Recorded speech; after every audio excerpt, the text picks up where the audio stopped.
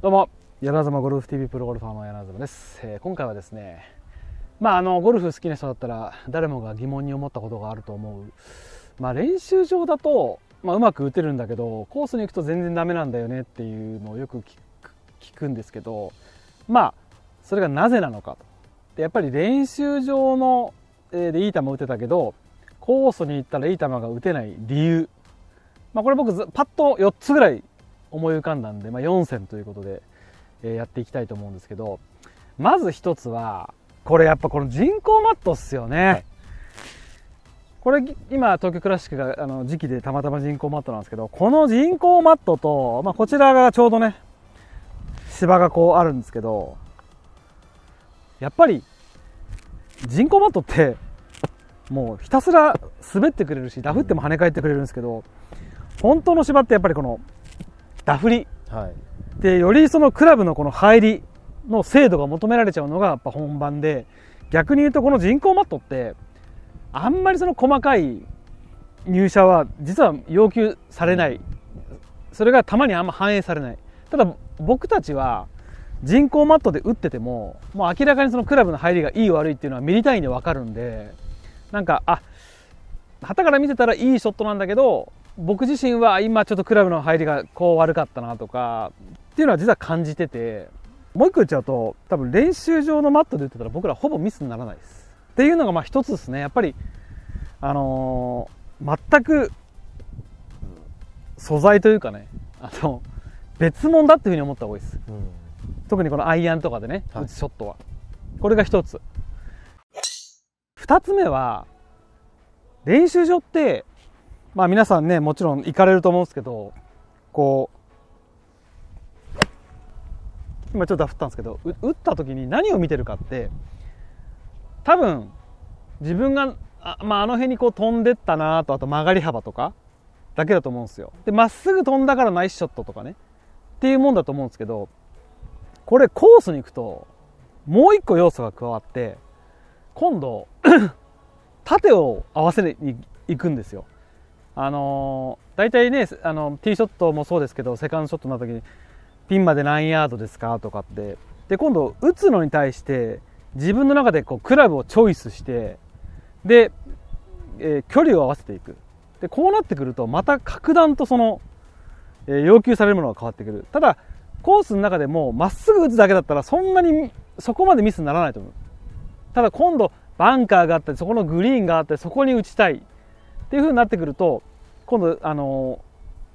まっすぐ行かせるプラスこの縦の距離も合わせなきゃいけないっていうところの難しさが出てくるんでやはり、えーこれは常にやっぱり練習場で自分が、えー今何番アイアンで何ヤードを打ってるっていうでそこのやっぱり細かいターゲットを決めた方がいいです。ただ漠然とまっすぐ打つんじゃなくて例えばこれ7番アイアンなんですけど今右奥に黄色いピンがあるんですね。であれが、え、大体150ヤードって書いてあってでこれ練習場ボールなので少し飛ばない。でかつアゲンスト。なんで自分の中ではまあ多分6割6割ぐらいでちょうどいいかなっていうイメージなんで。こうやってると今、えーっとピンより10メーター左行って奥に7メーターぐらいかな。っていう実は細かいことをやってるんで今旗から見てたら、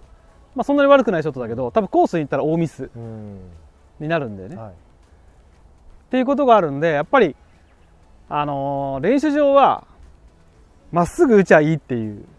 ほぼねこういうマットの上でね。だからすごい条件がいいし簡単、うんでコースに行くと縦も合わせなきゃいけない、うんこれが2つ目の要素3つ目はゴルフ場のコースの中でこんなに平坦なとこないです。基本的に必ずつま先上がるか下がるか左が上がるか下がるかしてるんでもうまああるとすりゃティーグラウンドだけかな。ドライバーの練習はいいと思いますよ。ただもうアイアン以降になっちゃうともう必ずまっすぐな傾斜じゃないんで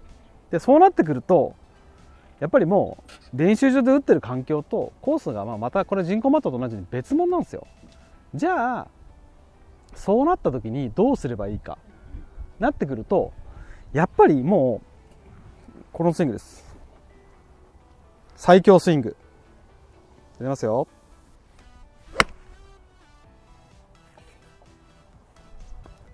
まあ俗にハーフショットですね。そうですね。フルショットっていうのはこういう平らな条件がいいところでしか使えなくて、うん。やっぱり多少こうつま先上がったり下がったりしてくるとクラブを1クラブ1クラブ上げてで距離を抑えることによって悪いライでも自分がバランスよく振るミートさせるっていうことがすごい大事になってくるんでやっぱりこういうマットの練習だと僕は圧倒的にあのハーフショットの練習だけしときゃいいレベルだと思います。なのであの練習場でこう平らなライで練習するときは、まあ、フルショットバカバカやってもこんないいライでコース上であのできることなんてほぼないんで意味がない練習をしないようにやっぱハーフショットの練習が一番身になると思います。最後に4つ目ですね。これは考え方の問題なんですけどなんか練習場だといい球出んのになーっていう人に限ってじゃあ実際に練習場で18球って何球狙ったところに行くか。でコースに行くと1回のホールにつき1球しか打てないじゃないですか。当たり前だけど。でも練習場ってドライバーで言ったら皆さんだったら100球ぐらい打つのかな、で100球ってじゃあ何球自分の思い通りいってるのか。多分ね1割ぐらいだと思うんですよね。ただいいショットのイメージが強いから。でしかも悪いショットってもう記憶からすぐ消せるでしょ？練習場だと。だから何が言いたいかっていうと実はミスショットも出てるんですよ。同じような数だけ。でそれがやっぱ練習場なんで、えー反映されない。ですぐ忘れちゃう。でいいショットしか思い出さないんですよところがコースって1球しか打てないからじゃあ例えばアマチュアの人がドライバーでね練習で10球って何球狙ったとこ行くか。僕らだったら人工マットで言ったら多分10球打ったら10球大体同じとこ行きます。それでもコースに行ったらうまく打てる確率3割ぐらいかな。僕の中で。なのでいやコースだったらな練習だったらうまくいくのになっていう人は18球ね、まあ、正確に言うとあのショートホールがあるからドライバー14回しか使わないんだけど18球打ってみればいいんですよ。ターゲットで。むちゃんと作って。で何球まっすぐ行くか。それが18球って例えば3球ぐらいしかまっすぐ行かなかったらコースでもまあねプレッシャーのないところで3球しか出ないってことはラウンドで3発2発ぐらいしかいい球出ないんですよ。っていう現実を知る。これがやっぱりどうしてもその練習だといいのになでもコースだとうまくいかないなっていうその心理的な、まあ、実はミスショットも同じだけ出てるんだけどあのコースになるとねミスはミスで結果として全部自分に突きつけられるけど、練習場のミスはもうすぐ記憶から消せるから。だからどうしても練習の方がうまくいってるふうに思うんだけど実際はあんま変わんないっていうのが現実かなっていうところですね。ということでですね練習だとうまくいくんだけどなコースだとうまくいかないよねっていうのはまあそれは当たり前だでやっぱりもうそもそも環境が違うとじゃあその中でじゃあ練習場のショットをどうやったらコースで活かせるかっていうとまあドライバーの場合はねティーアップするから条件結構近いんですけど、まあ、アイアン特にそのクラブの入りをこう入りっていうのはこう入射ですね。これを求められる確率がやっぱコースに行くとハードになってくるんでそういう時用にですねやっぱり普段から、えー、ワンクラブ自分が例えば150ヤードを7番で打ってんだったら6番アイアンで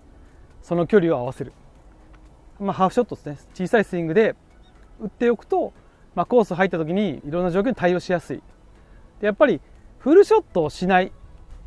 ていう癖を普段からつけておくってことがやっぱりその練習場の成果をコースで出す、まあ、最大のポイントなのかなっていう気がするんで、まあ、ぜひそういうこう心がけてね練習してみてください。